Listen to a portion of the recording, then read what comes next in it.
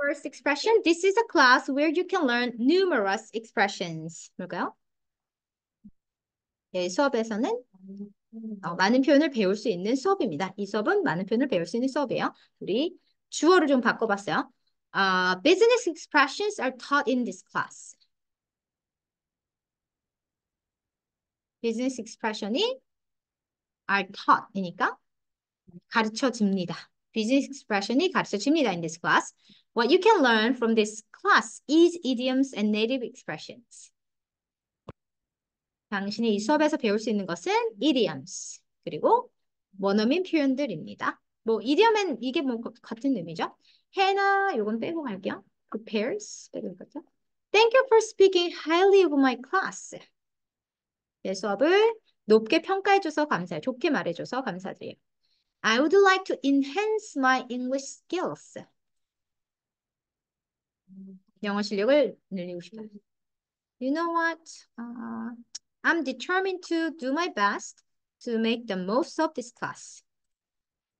이 수업을 최대한 활용하기 위해서 최선을 다하기로 determined, 준비되어 있어요. 마음을 단단히 먹었어요. Here, it's all great to me. 어, 그리스어 같아요. 뭔 말인지 모르겠어요. 라는 표현이 있었고요. Here we go. He's such a keeper.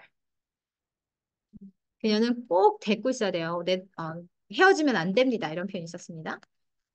Okay. Indeed, it's a tough nut crack for me to come here as I'm an introvert. 내성적인 사람이야. 여기 오는 것은 힘든 일이었습니다. That makes two of us. 저도 마찬가지예요. For example, 아까도 대화할 때, 아, 우리 윤서님하고 얘기할 때, 이런 거 정말 너무 짜증나요 했더니, that makes two of us. 저도 짜증나요. 이렇게 받을 수 있었고요. Uh, I'm glad to know that you work up the courage. 용기를 냈다는 걸 알게 돼서 참 좋네요. 라는 표현도 있었고요. You have a knack for languages. 언어에 소질이 있으세요. I'm so flattered. 가찬입니다. I get that a lot 하면 칭찬을 저도 그런 말 많이 들어봤어요. 그리고 오늘의 표현이 있었어요.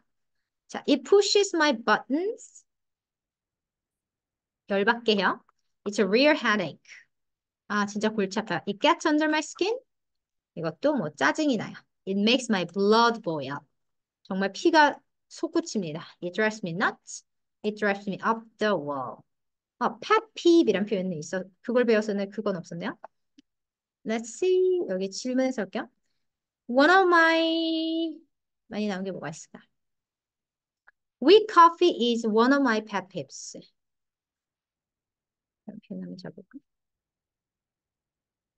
그리고 I one of my pet peeves is when people talk loudly. Public transportation. 좀 짧은 것 같아요. 그러니까 두개 정도 그러니까 pet peeve이라는 컨셉을 얘기해봤습니다. Okay, so that's it for today.